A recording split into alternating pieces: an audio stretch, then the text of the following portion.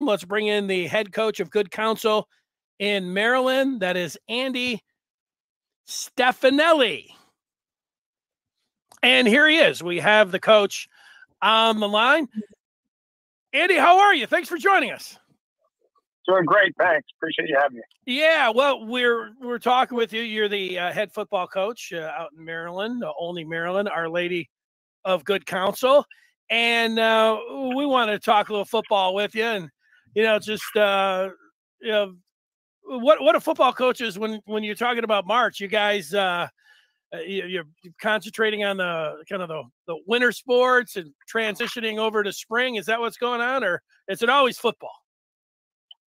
Yeah, for us, it's pretty much football year round. Now we have uh, you know multi-sport athletes, of course, uh, but from a coaching perspective, uh, since we're a private Catholic school, you know, we have uh, incoming classes that uh, that we recruit, and um, so our registration ends tomorrow for eighth graders for next year. So we're trying to put the finishing you know touches on that, um, and then we're uh, right now I'm currently in exit meetings with my current players to wrap up last season, and then to project for next season for the returners uh, with goal setting, things like that. And uh, you know, we're in a, we have a full time strength staff there at our school, and they're training our football team three days a week in the weight room and speed and agility work. So, uh, kind of getting ready for uh, spring. When we get to the spring in April, we'll do. We don't do padded practice, but we do have uh, skill work and then some field work, and of course, the weight room continues through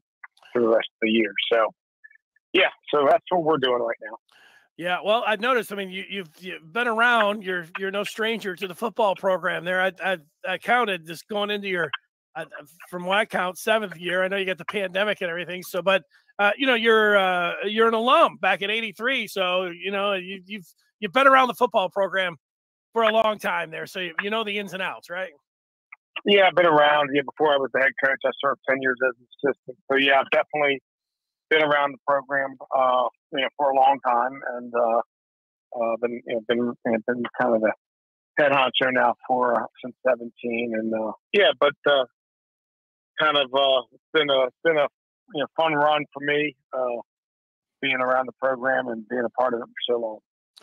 Yeah, it's to be pretty exciting too. I was looking at your website. Your guys' website looks like something like you know you could see in you know college or the NFL or something. It's pretty impressive. But I noticed some of the alums there, of course, of course, uh, uh, Stefon Diggs from the Bills, and uh, right in the Big Ten, uh, Mo uh, Ibrahim, who went to the uh, Minnesota Golden Gophers, who's uh, you know going to be looking forward to the draft. He's a great back. I mean, those are are two pretty big time players, but pretty excited about the prospects uh, for Mo and what he might be able to do at the next level in the NFL, huh?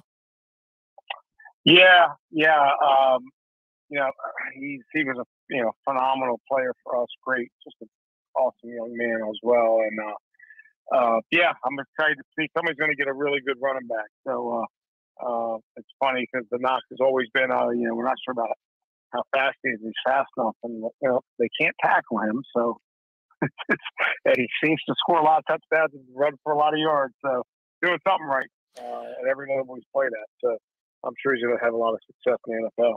Yeah, I agree with you. I watch him, and uh, you know, it's it's hard not to be impressed. You know, it's also hard not to be impressed with one of your current players, and uh, you you have a linebacker, Aaron Chiles. Tell us about him. Uh, he's he's phenomenal. You know, he's a great player. Um, you know, he's kind of fits the prototype. He's got the size and speed that you know you look for in a linebacker in today's game. At six three, two thirty five, and can run. Um, I think he's a four five forty guy, so he he can really run and do. You know, he's a sideline to sideline linebacker uh, with great cover skills and pass rushing ability. Uh, so you know, as he grows and develops if the at the next level, you know, it's going to be really fun to see kind of what he ends up, you know, being in terms of position and role. Um, you know, I think he can, he's just so versatile. He can do a lot of different things, and the college coaches see that, and that's why he's, uh, you know, got, gotten so much interest and he's being recruited so heavily. And then, you know, on top of that, he's a very good student um, and uh, team leader. He's a named captain as a junior, and uh, and just uh, know, really just uh, a really good kid overall. Couple more minutes here with uh, Coach Andy Stefanelli, good counsel, head football coach in Olney, Maryland. Uh, I have his Twitter page up on the screen at ASTEF60. And you know, you mentioned all that interest. I, I was just looking at, you know, he, I think he released a top ten uh, yesterday. Uh, Michigan and in Maryland, and it's really a who's who: Notre Dame, Ohio State, Penn State, Clemson, Florida, Florida State, and Georgia. I mean, that's about as uh, pristine as a top ten as you can go out there uh, and get. What do you What do you make of that? uh, yeah, there, there's some pretty good choices he has. Uh, uh, I'd say. Uh, yeah, you know, he's been really good through the recruiting process. I think it started early for him, and uh, you know, he kind of took it all in. His parents are great; they do a nice job helping him manage it too. And uh, you know, myself and Kevin McFadden, who's our defensive line coach, and helps does uh, yeoman's work with college recruiting for our players. Um, help kind of assisting and guiding him through as well. Um, but yeah, he has a lot of great schools, and um, you know, I think he's finally gotten to the point now where he's narrowing it down uh, to to that top ten, and and you know, he's to take some more visits and really try to pare it down some more for sure. Um, but yeah, that's a you know, it's an enviable position to have all those great choices, but it's also going to make it all a tough decision, I'm sure. Yeah, doesn't look like you can go wrong. I, you know, you mentioned as a, a coach there, you you do recruiting at the high school level. So, uh, tell me when the first time you you heard about Aaron Chiles, or was it your defensive coordinator that saw him? Uh, when do you first remember, you know, hearing about uh, your your captain? Yeah, so actually, it's funny. Uh, Kevin helps. I, I I use it all the time because like I have our our recruiting coordinator is our, our secondary coach, secondary coordinator. His name is JD Knoll, and uh, so he recruits the eighth graders. I tell folks he recruits them coming in the door, and then Kevin helps helps me as they go out the door uh, the college side of it. Um, so yeah, Coach Knoll, uh, you know, we have several youth programs um, that uh, you know that we have a good relationship with, and that produce really good teams and players you know, year in and year out. And uh, so uh, Aaron played for a, a, a, youth organization called the White Oak Warriors, and um, uh, he was. Uh, they had a great team, and uh, they had a great program. And um, know, the funniest thing part about Aaron, he was under recruited in eighth grade because he played fullback, H back for this team, and not a lot of linebackers. So a lot of schools don't use fullbacks anymore. So I think overlooked him, and uh, we still use one. so uh, I saw that and I said, you know, that kid's tough. He's got nice size and uh, you know, maybe he's uh, you know, a lot of times fullbacks can play linebacker too. And uh, boy, we sure hit the jackpot on that one. But a little bit of luck goes into that too. But uh, you know, and he fit our profile. Really good student. Um, you know, high character kid. Uh, so he could get in, you know, into our school through admissions with his academic profile. Um, and then, uh, you know, just flourished when we got him. He grew a lot, bought into everything. He, of course, he came in during a pandemic, so that was difficult. But as he managed through that, um, you know, just kind of just totally bought in and developed uh, in our program. Um, quickly realized, yeah, he's a linebacker, and uh, it's, uh, it's been great watching him grow. Yeah, well, it's not a surprise when you you you know you hear all the schools that are interested in him. You know, you hear about uh, the academic side, the football side. You know, you're talking about him. I mean, we're talking about one of the I don't know, certainly top 100 players in the country, top 50, wherever you want to go. I mean, he's uh, he's up there and everything else. Uh, does it remind you of anybody when you watch him play? Do people say, "Oh, you know, he he really looks like uh, you know whoever when he's out there"? Anybody ever drop any names like that, or do you have one yourself? Well, for you know, for us, for our you know, from our program, we've had a couple. We've had some great linebackers. Uh, Jelani Jenkins, who uh, played at Florida and then played for the Dolphins and the Raiders. Uh, uh, he he's similar in terms of size and speed to Jelani. Uh, we had another great one, Akeem Hebron, who played at Georgia. Um, so there's a couple in our program that he reminds some of us coaches who have been around a while of some of those guys. Um, you know, I don't know in today's game. I'm not, you know, sure. You see college guys all the time that uh, are that size and speed, certainly in NFL. But uh, those are some guys, you know, within our own program who, when we first started seeing him develop, we're like, wow, he he does some things we haven't seen uh, around here in a while. Uh, Keandre Jones, um, who plays for the Cincinnati Bengals now, is one of our alums, and uh, there's some similarities there with the way he runs. Keandre could really run and cover too. So kind of a little bit of a mixture of a couple of those guys for us that, that he might be. Yeah, I think it's exciting. I think Michigan fans would be excited because two years ago they went to a three-four and they've got these, you know, outside linebackers or, or you know edges and you know Aidan Hutchinson went number two in the in the in the draft. You know, standing up and a a, guy that can attack the quarterback, and you know they've they've had Mike Morris, and you know they've they've had Kwity Paye before that. Like they've they've been on, on a run of of these type of players, and you just look at Chiles, and you know I don't know where he's going to end up going. I don't know if you do either, but you know he, he really he, he looks like you know he could be the you know you mentioned prototypical, but he looks like he could be a great rush edge in, in college. Yeah, I really think he could. He, he's got the size and strength and just a knack. Some guys have a knack for it, and he has that. Um, so yeah, those are some good examples of some guys uh, that I think you know potentially uh, could could kind of follow the, that uh, their, their footsteps. Uh, certainly, if he goes to Michigan, um, I don't know where he's going to go, but uh, I know Michigan is uh, is certainly high on his list. Um, and yeah, we have a great one there now from our school playing for you guys. So, um, you know that that uh, that probably doesn't hurt either. So, uh, and uh, you know Kris Jenkins, of course. Oh, you know I, that eluded me. You know Kris Jenkins. I know his dad. You know uh, played pro football. He came in. He he came in pretty light. Everybody's like, you know, is this guy gonna play? Where's this guy gonna play? He's gonna play inside, and he's filled in. I mean, he's a I say great. I mean, he's an outstanding football player. I mean, tell me, so you you, you coach Jenkins? I mean, he's he's everything that you would want in a college football player. He's awesome. Yeah, Kris. Yeah, Kris was on our uh, our last championship team in the 2019 season, and um, phenomenal. It's funny. I still show the picture. I show the picture of Michigan coaches when they visit of Kris as a sophomore uh, on our team when he weighed 215 pounds, uh, playing you know, defensive end for us. And uh, of course, now he's 300 pounds playing a three technique for Michigan. Yeah. But um, he was always that guy. He could, for us, he could play our edge position. He could, could put his hand down and play a three technique. Then he could bump out and stand up and come off the edge as a pass rusher.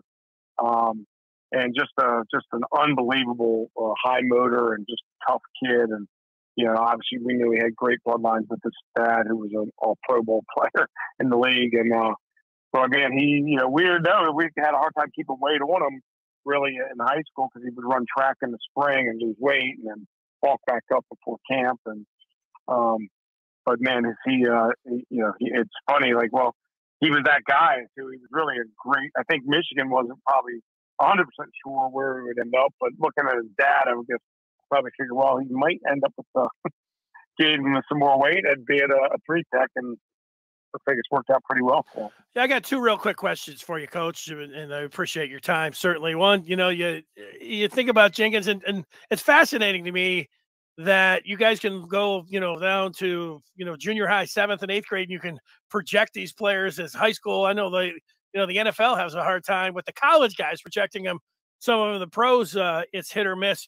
I remember way back when I started in the recruiting game, I was talking with somebody, you know, in uh, Michigan was interested in this uh, Courtney Brown. He was a, defensive end, ended up going to Penn State, and LaVar Arrington as well. And I remember talking with the coach, and I said, "Well, you know, did you think like did you do a great job recruiting these guys? You know, when you saw them or seventh, anything?" He's like, everybody in the country knew these guys immediately.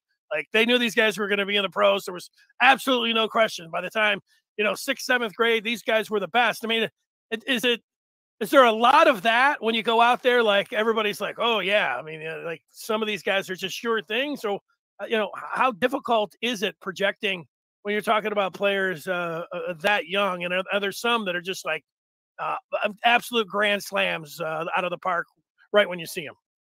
Yeah, uh, a little bit of both. You know, it's very hard to project. you know, eighth graders, seventh, eighth graders uh, really is. Uh, but some of them, you know, some of the standout players that you see, they do jump out at, even at that young of an age. Like, wow, you know. Now, what's really hard to project is how big they're going to get, unless they're already, you know, if they're six foot three, you know, eighth grader, okay, you know, taking some of the guesswork out of it. Um, but sometimes they're not, and then they grow in high school, and, and so that that that makes it very difficult. Um, but yeah, uh, for us, you know, a guy like Stefon Diggs in eighth grade, he was different. Yeah, and he was different as soon as he got to our school. And Kendall Fuller plays for Washington. He was different. You know, all his brothers played in the NFL too. So sometimes you do see him and know right away, but um, uh, I'd say it's you know it's it's certainly not always the case. Uh, Kris Jenkins was not a guy that even though you know knowing his dad, you thought that he had a shot. He hadn't played a lot of football in, in, in youth at the youth level. Dad had him doing other things, other sports, and I think it probably ultimately helped him. But you know, it was a little hard. Like, yeah, I don't know. You know, he he wasn't that accomplished uh, from a technique standpoint. But then when we got him, you realize how fast of a learner he was, how natural he was at it. Um, but you didn't necessarily know that in eighth grade or seventh grade. So um, yeah, it's really a little bit of both, and it's very, very difficult, even just to project that they're going to be Division One college prospects, much less guys that can be you know, drafted and play in the NFL. You know, the final question I have for you is just about how high school you've been around the game for so long, how it's changed.